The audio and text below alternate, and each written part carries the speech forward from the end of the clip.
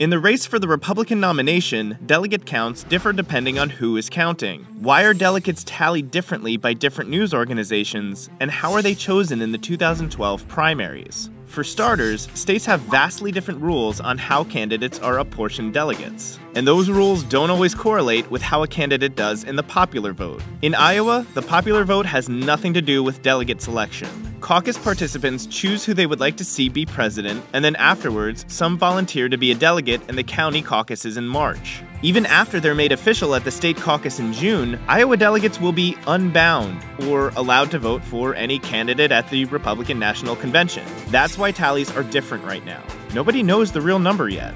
New Hampshire has a proportional delegate primary. The state's 12 delegates are divvied up among Mitt Romney, Ron Paul, and John Huntsman, all of whom received over 10% of the popular vote count.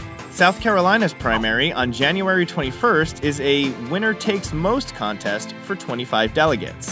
Whichever candidate wins the statewide vote gets 11 at large delegates. The remaining 14 congressional district delegates are winner take all in the Palmetto State's seven districts, meaning some of them may go to runners up. Florida is a winner take all state, with its 50 delegates allocated to the primary winner on January 31st. If Mitt Romney sweeps the January contests, he'll only have about 5% of the 1,144 delegates needed to clinch the nomination. But with momentum and money, the former Massachusetts governor would become the presumptive nominee long before delegates head to Tampa for the GOP convention in August.